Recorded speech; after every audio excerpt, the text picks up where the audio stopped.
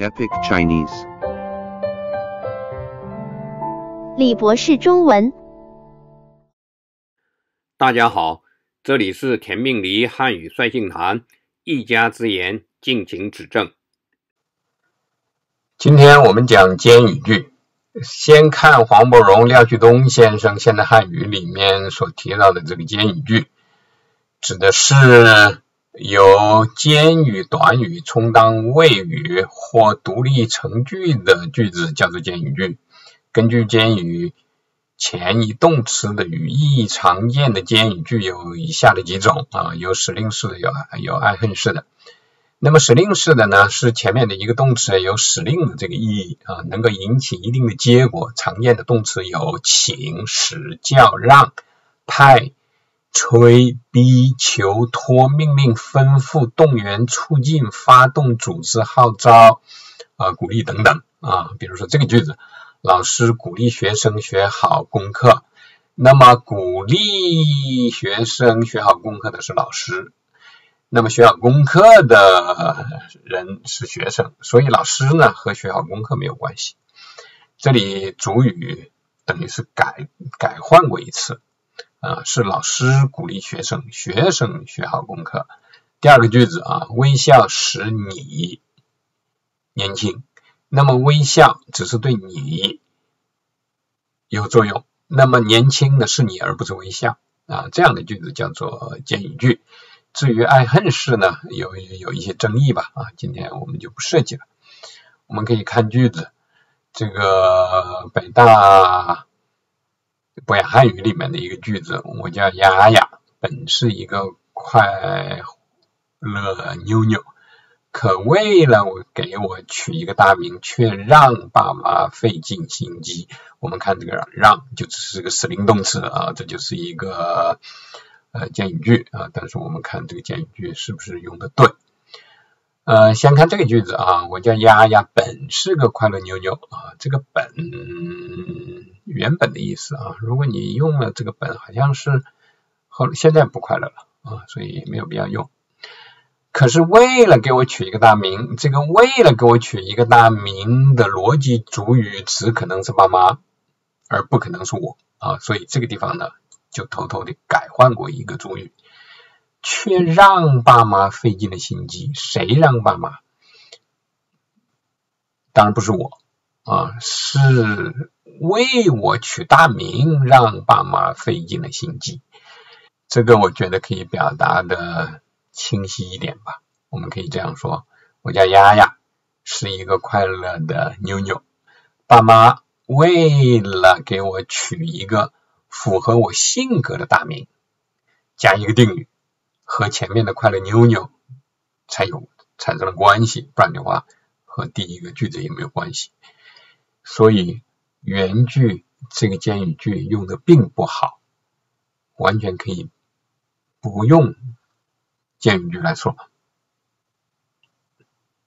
这个句子也是一个简语句，北京大学博雅汉语里面六册啊，这时我就想。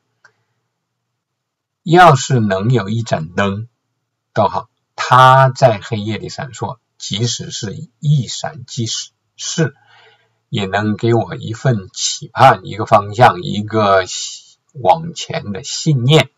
我们考察一下这个句子啊，我就想是一个独立成分啊，我们可以不去管它。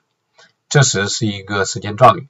要是能有一盏灯，这个没有主语啊，这个就是一个没有主语的呃简语句啊。要是能有一盏灯，这个一盏灯就是有的宾语，同时也是后面的在黑夜里闪烁的主语，所以这个它根本就不能用。这个就是间语句的误用。我们可以看一看这个语料库里面的用法。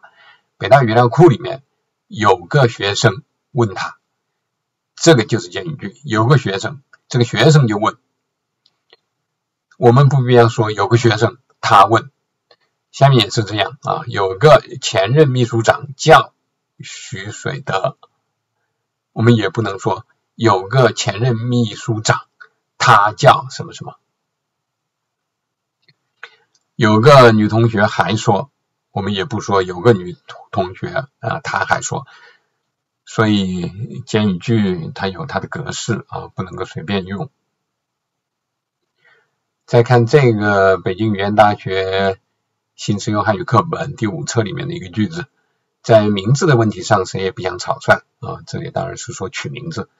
因此呢，一个地方上的最有学识的人，这个是主语啊，就会不断的被人讨教，那成为一个被被动式了啊，给起一个名字，这又是主动的了。这个句子不知道为什么会是这个样子啊？我想可以把它改成一个简语句，在名字的问题上，或者是说在取名字的问题上，谁也不想草率，因此。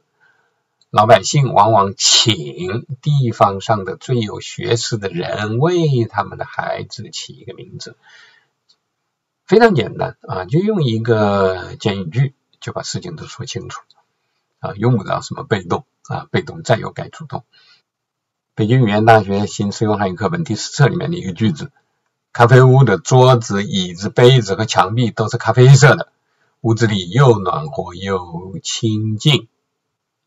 这两个句子中间是一个逗号啊，如果是一个逗号，当然它们这两个分句之间应该有某种逻辑关系。那么这个逻辑关系应该是因果关系啊，是因为咖啡屋的桌子、椅子、杯子和墙壁都被漆成了这种咖啡色，所以呢，屋子里就显得啊又温暖又清静。虽然呢没有用这个因果连词，但是呢意思是这样的啊，这样的句子呢实际上就是因不足以为过啊，这个原因不足以为过。前面已经提到了啊，这个咖啡咖啡屋里面的人很多，既然多，也不可能是清静。咖啡色显得温暖，这个倒有可能。怎么改一下呢？我们可以不用一个复句，而用一个接语句。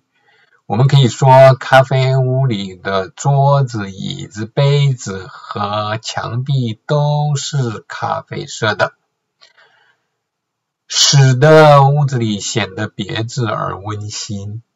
啊，这个就对了，就是前面的所有的这些事情，使得这个屋子显得别致而且温馨，这就是一个简句。这样改呢，应该是符合。句子的原意的。今天就讲到这儿，谢谢收看。Thanks for watching. Questions are welcome. All copyrights are reserved.